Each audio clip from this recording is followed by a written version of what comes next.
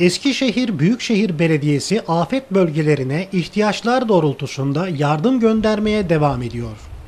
Muğla Marmaris'te yaşanan yangın nedeniyle söndürme çalışmalarına destek veren Eskişehir Büyükşehir Belediyesi, Kastamonu'da yaşanan sel felaketinin yaralarını sarmak için de ihtiyaç doğrultusunda destek ekibi göndermişti.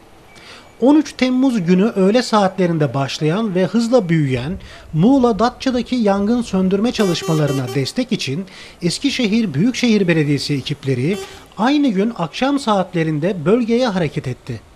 Büyükşehir Belediyesi İtfaiye Dairesi'nden bir araç, 3 personel, Yol Yapım Bakım ve Onarım Dairesi'nden bir ekskavatör, bir tır, bir öncü araç ve 4 personel, Park ve Bahçeler Dairesi'nden 2 su tankeri ile 2 personel Datça'ya gitti.